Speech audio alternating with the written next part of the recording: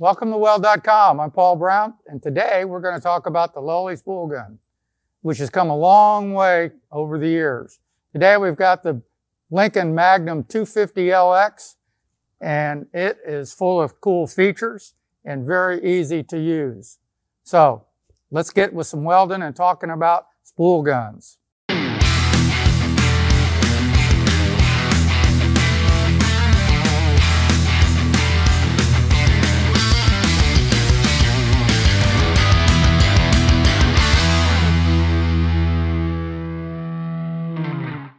Let's talk about why you'd want to use a spool gun instead of a TIG torch or a MIG gun.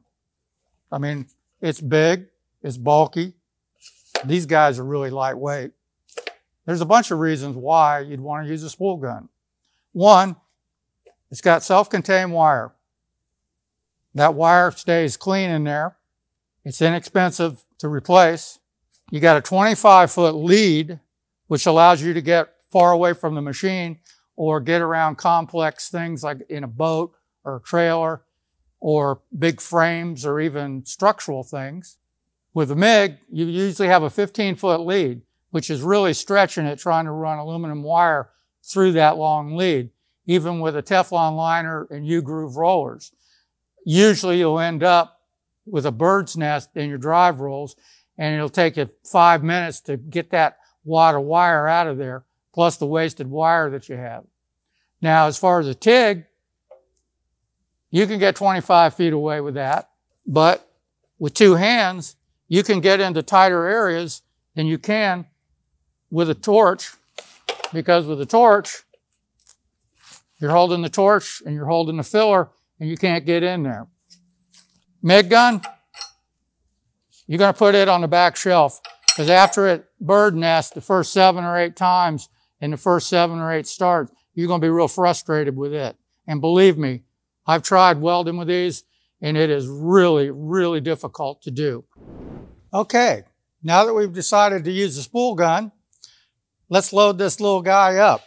First thing that's real important is you want to pull the contact tip out because if you don't and the wire comes through there, it's liable to bind up and get into a big ball of wire called a bird's nest right here. So we want to take our spool of wire, and make sure you hang on to this wire because if you don't, it will take off and you will have the most incredible mess you've ever seen. On the back, there's a little tube that the wire goes through.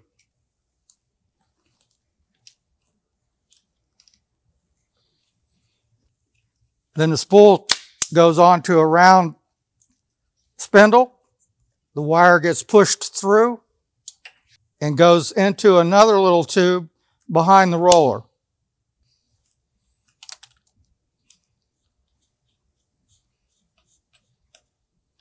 And now the drive roller is in contact with the motor and you can run the wire through. At this point, I'm going to turn the machine on so I can electrically run it through. Machine's turned on. Wire feeds by itself. There you go. If I had left this contact tip on, it very likely could have crashed and caused a big bird nest back here of wire, which means you got to cut all that out and start all over again. Make sure you snug down the contact tip. You don't need to be crazy with it. Screw on your nozzle clip your wire, put on the cover. There is a anti-backlash gizmo here that you have to set on there. Cover's on, screw the cover down, close the door. You're ready to start welding. Spool guns usually start instantaneous when you hit it. They're great. You got a pound of wire in there. That's enough to weld for half an hour straight at least. If you've got a long run to do, we're talking two, three, four feet, you don't have to stop like you would with a TIG torch because the TIG torch you're constantly feeding in from a 36 inch rod and that rod goes fast because of the amount of metal that aluminum takes. No one ever explains two step and four step. So I want to do that. Okay, I'm going to put the trigger on two step, which means if I pull the trigger and hold it, the wire will feed. As soon as I let go of the trigger, it cuts off. If it were on four step, I would push the trigger, the wire would feed when I let off, and then when I want it to stop, I got to push the trigger again and let off. If I'm doing a long run, that's really helpful. Okay, we have a spot time, which we're not going to use. We have a run-in time that gives us a short run-in of the wire, so it just doesn't start from a dead stop. And we have a burn back, which allows the electricity to run through the wire after we've let off the trigger, so we don't have a big piece of wire hanging off the end. Now, what we want to do is set our volts, and I figured a good setting is 22 volts. Got that set. To set the wire speed, when we're using a spool gun, we've got a little knob here that we can change it just like that by turning it, which is real handy when you're 25 feet away from the, the welder. You don't have to keep coming back to the machine and you can make minor adjustments on the fly with just that little tiny knob there. Very handy. One of the greatest advantages is the speed that you can put material down. You can feed 500 inches a minute 045 aluminum wire. That's a lot of metal getting put down. And you don't have to stop to get another rod and then relight and reheat what you're welding on. So we can say it's faster than TIG. What percentage? 10, 20, 30%? Well, let's go ahead and show you how fast it really is.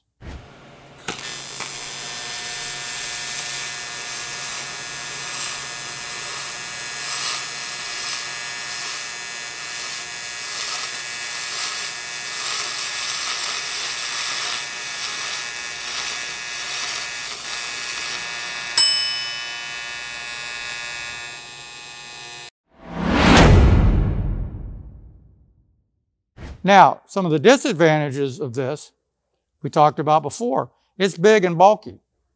You get used to it. It's become second nature holding it. And the fact that you've got a grip on it, you can hold the nozzle, you can get very precise with it. It's not going to give you the stack of dimes like a TIG will, but doing that with a TIG takes one heck of a lot of practice to, to get to that level. And if you really want a stack of dimes, you can lay it down with a spool gun, come back with a TIG on top of it, and get those little scalloped look to it. The other disadvantage of the spool gun is it's more difficult to weld on thin material.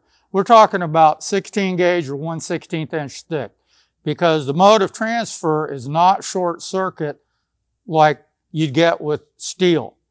It's axial spray transfer where the wire does not hit the puddle and short out and then add filler to it. It's basically spraying out like a garden hose. So anything less than an eighth of an inch is kind of difficult to weld. But by doing what's called a bump weld, where you just bump the trigger and hit it, you can build the weld material up. So if you're doing thin stuff, go to your TIG. Now, the amount of heat that this puts into your material is a lot greater than the TIG torch because of the arc cone being so small. You can weld on much thicker material with a lot less amperage. So for the spool of wire you saw me load into the Lincoln Magnum 250LX, it's Lincoln Superglaze 4043.030 diameter with an AWS spec of A5.10.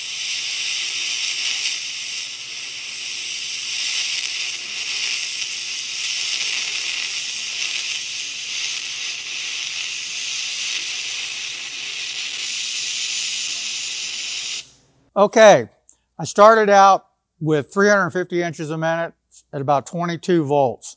And when I did that, it was way too cold for this one inch material. So I bumped it up to 450 inches a minute at 25 volts and it burned really nice, penetrated well, wetted out. So this being one inch is a major heat sink. To do that with TIG, you'd be probably running at 450 amps and having to use helium and argon together. That's where the spool gun really shines, is doing this thick material like this. Where TIG torch is maybe 30% positive cleaning action, 70% penetration, the spool gun is 100% positive cleaning action, which blows the aluminum oxide off with the electrons leaving the material. That's very important because that aluminum oxide or dross leaves little black pepper-like stuff. And those are hard spots which reduce the ductility of the material and actually can keep the weld pool from sticking to the base metal. So that's what's great about this. 100% cleaning action. So if you're working on something like an engine, a car body, boat, places you can't get to to make it spotless clean that you need for the TIG gun, this is the machine to do it with. I mean, I've worked on a lot of boats. They're always corroded. They have paint on them. You can't, it's difficult to get the paint off and clean. I gave up after hours and hours of trying to TIG. And once I got a hold of a spool gun, that was the only way to do it. We're going to run another bead or two beads on this just to build it up even more and see how well we can do with that.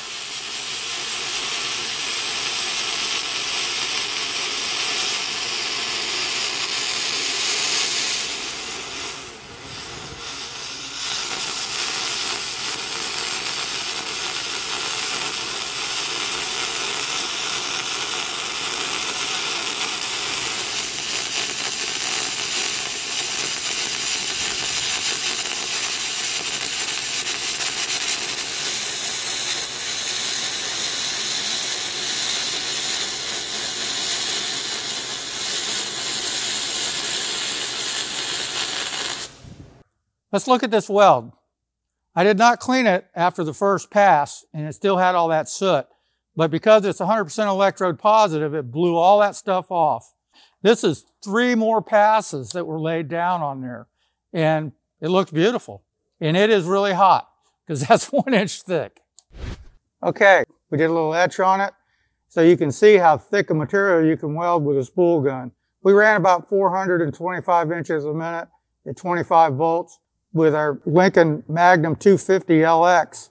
Trying to do that much weld with a TIG torch would be incredibly hard to do, you know, well over 300 amps or more. Thanks for watching today. See you on the next one.